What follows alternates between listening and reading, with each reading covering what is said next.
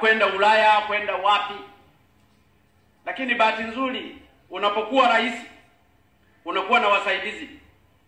Uko wewe rais, yuko makamu wa rais, yuko waziri mkuu, yuko waziri wa mambo ya nje ambaye jukumu lake ni kuzunguka nje, na wale wote ninao.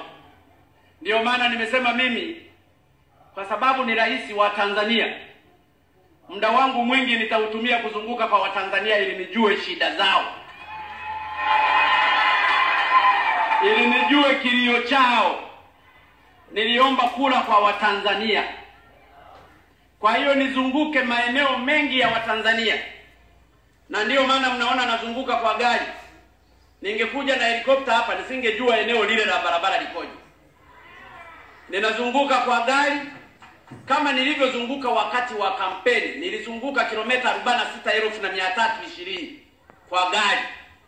Nitafanya hivyo hivyo kwa kuwazungukia Watanzania ili kero zao niweze kuzijibu, na hili ndiyo jukumu langu, na mimi nataka muamini hivyo. Kidatu oye! Kidatu oye!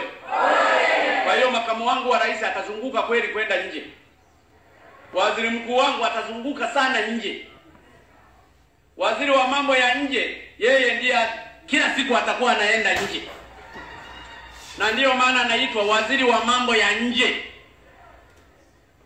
Ni waziri wa mambo ya nje. Mimi kwa sababu niliomba mwenyewe kura kwa ajili ya Watanzania, nitazunguka kweli humu ili hawa mafisadi fisadi wanaojificha ficha niweze kuwaopoa na kuwaweka hadharani kwa manufaa ya Watanzania walio maskini.